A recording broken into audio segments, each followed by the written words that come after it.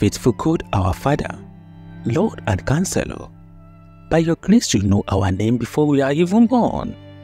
By your grace, you call us your own son and daughter. By your grace, you give us an eternal purpose.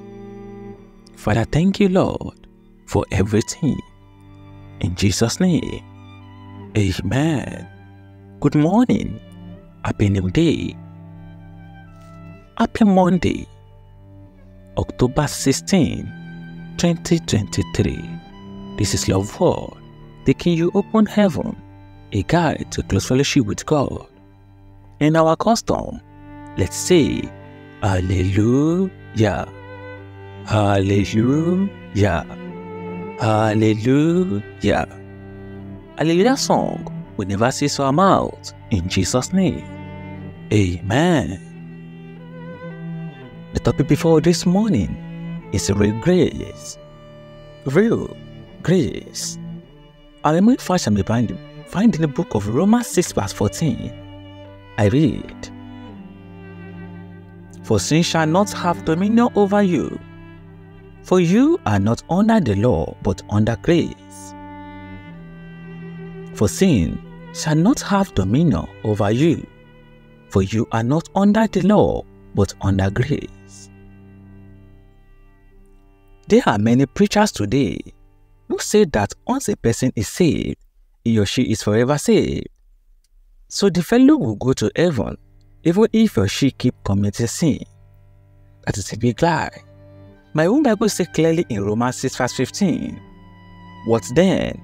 Shall we sin because we are not under the law, but under grace? God forbid. Grace enable you to live holy rather than permit you to commit sin. What is the grace of God does? Is to give you ability to live above the dictates of your flesh. It is by grace that you are saved. Ephesians 2 verse 4 to 5. After that, the grace of God that brought you salvation will then teach you to live holy. The grace of God that bringeth salvation has appeared to all men, teaching us that denying ungodliness and worldly lusts, we should live soberly, righteously, and godly in the present world. This is true work of grace that the Bible talk about in 2 Timothy 1 verse 9. I read, Who has saved us and called us with an holy calling, not according to our work, but according to his own purpose and grace, which was given us in Christ Jesus before the world began. Please ignore anyone who tell you that the grace of God allow you to commit sin. Ignore them. That's a message from the hell or devil, carefully put together to send many people to hell. The devil know that no sinner will enter into heaven, so he carefully crafted this message for Christians to ensure that they continue to sin, even after responding to the altar call. But he fell over you in Jesus' name. I repeat, devil fell over you in Jesus' name. I have had big men of God argue with me over the subject and each time I tell them, let us assume that you are correct. And once I have given my life to Christ before, heaven is sure even if I commit a sin. That means if rapture take place, or we both die, we both go to heaven. But if you are wrong, that means if rapture take place, now or we both die, I will go to heaven, and you will go to hell. Either way, I'm still correct. I would rather choose the safe path. What about you? Are you on the safe path?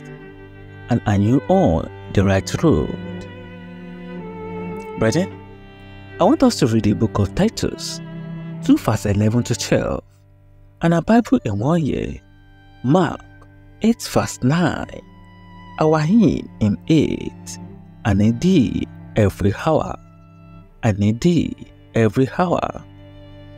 Our key point for today Grace is the enablement to live above sin, not permission to commit it. Grace is the enablement to live above sin, not permission to commit sin. And I pray my Father in heaven we give you the grace in Jesus' name. Amen. Brother, this is Love World. Till I come over tomorrow, don't forget to subscribe to the channel. Click on the like button. Share with your friends and family. And goodness of God will never leave your life. Have a nice day and bye for now. God bless you. Happy New Week.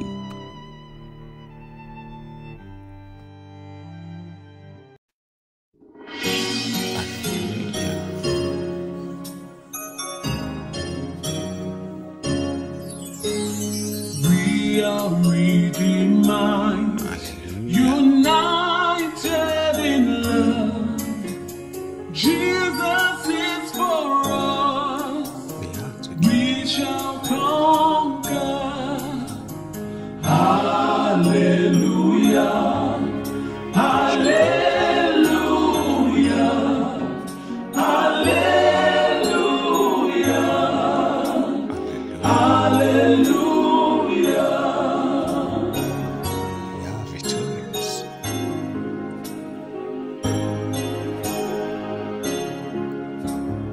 We are together,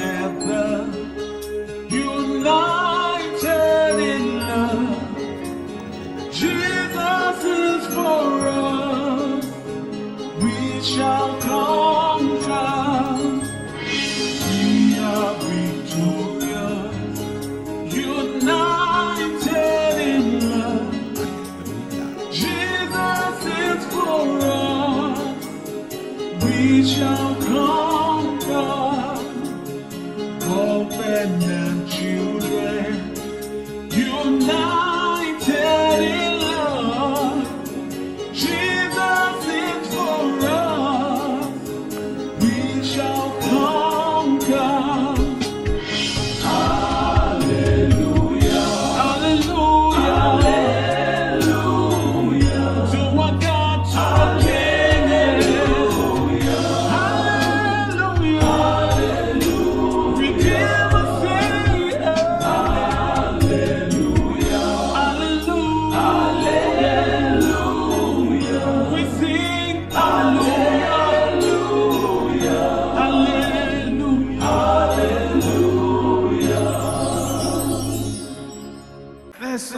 somebody shout hallelujah.